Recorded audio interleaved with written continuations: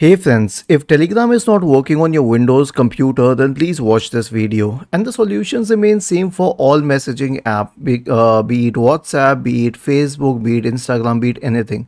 So basically these apps don't have permissions or maybe a third party app may uh, revoke those permissions. So in this case, here's what you can do. Search for Telegram in the Windows search bar, Telegram desktop and in the right pane click on this downward pointing arrow to get all the settings here.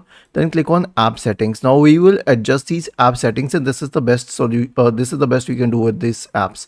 So first of all for background app permissions sh uh, shift to always. So this way it can connect to all other apps. Now scroll down and click on terminate for the process so that you can make sure that the process is terminated. And then you can repair and reset the application.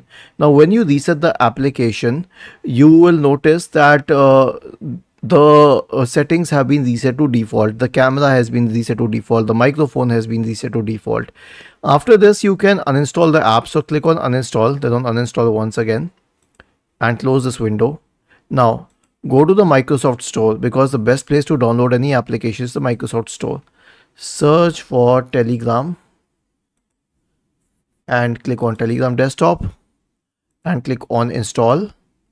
And it will install the telegram app. And when you reopen this app after installation you'll notice that it works fine now. So click on open and then try reconnecting once again. It will work fine this time. Was this helpful? If yes then please subscribe to the channel. And if not then let us know in the comment section of this video on how we could help you further. Thank you for watching this video and have a nice day